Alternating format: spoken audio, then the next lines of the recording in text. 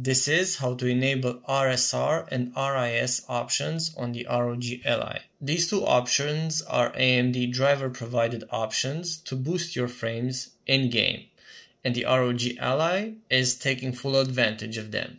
First, let's check if we have them in the driver itself.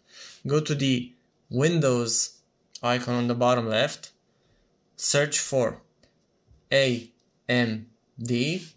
hit the AMD software option.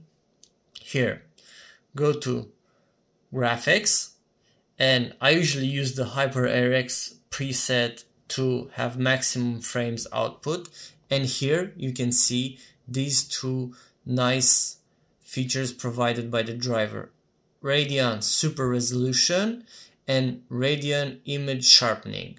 Of course, if you don't see either of these on the driver, it means that you might need to update the AMD software driver. But if you see them, you can enable them from here.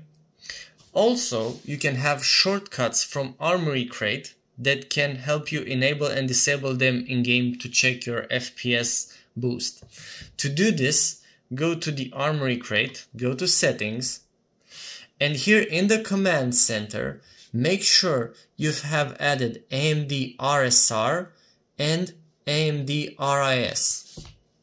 Once you're in the game, let's say, you will open the command center and enable AMD RIS and AMD RSR.